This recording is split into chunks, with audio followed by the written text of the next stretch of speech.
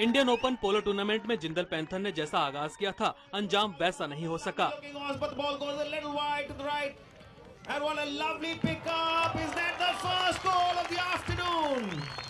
Achievers ने खिताबी भिड़ंत में शानदार खेल दिखाते हुए सात पाँच से जीत दर्ज की और इंडियन ओपन पोलो कप पर कब्जा जमा लिया कप्तान नवीन जिंदल की कप्तानी में जिंदल पैंथर की टीम में सिमरन शेरगिल, जेपी क्लार्किन और मिगुल साराविया जैसे वर्ल्ड क्लास खिलाड़ी मौजूद थे तो वहीं अचीवर्स की टीम में Abhimanyu Pathak Nicholas Pepper Dennis Otamendi और ध्रुव पाल गोदारा जैसे दिग्गज खिलाड़ी शामिल थे।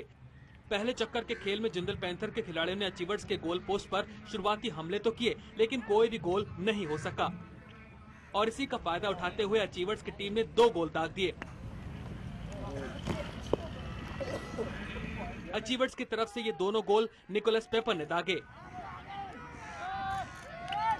और इसी के साथ पहला चक्कर खत्म हो गया, जिसमें अचीवर्स की टीम दो शून्य से लीड कर रही थी। दूसरे चक्कर में जिंदल पैंथर ने अपनी रणनीति में आक्रामकता भरी और एक के बाद एक तीन गोल दागे. पहला गोल सिमरन शेरगिल के नाम रहा तो दूसरा गोल जेपी क्लार्किन के स्टिक से निकला। और तीसरा गोल किया जिंदल पैंथर टीम के कप्तान नवीन जिंदल ने।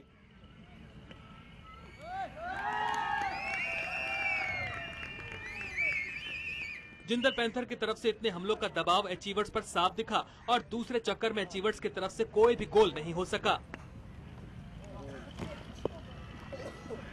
दूसरे चक्कर में जिंदल पैंथर की टीम को तीन दो से बढ़त हासिल हो गई। तीसरे चक्कर में दोनों टीमों की तरफ़ से कोई गोल नहीं हुआ। लेकिन चक्कर के खत्म होने से ठीक पहले पेनल्टी पर ध्रुवपाल गोदारा ने गोल कर मैच को बराबरी पर ला दिया।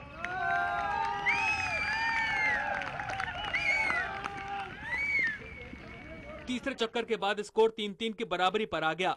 चौथे चक्कर का खेल और भी दिलचस्प हो गया। जिंदल पैंथर की तरफ़ से कोई भी गोल नहीं हो सका जबकि अचीवर्स ने इस चक्कर में एक गोल के साथ बढ़त हासिल कर ली। चौथे चक्कर के बाद जिंदल पैंथर के खाते में तीन गोल तो अचीवर्स के पास चार गोल थे। पाँचवें चक्कर में जिंदल पैंथर पर फिर अचीवर्स हावी हो गए और अभिमन्यु पाठक ने गोल कर दो गोल की बढ़त टीम को दिला दी। So. लेकिन जिंदल पैंथर टीम के स्टार खिलाड़ी सिमरन शेरगिल और फिर जेपी क्लार्किन के स्टिक से निकले गोल ने मैच को फिर बराबरी पर ला खड़ा किया। यानी पाँचवें चक्कर में स्कोर पाँच पाँच से बराबर हो गया छठे और आखिरी चक्कर में रोमांच चरम पर पहुँच चुका था लेकिन यहाँ पर अचीवर्स की रणनीति कारगर साबित हुई.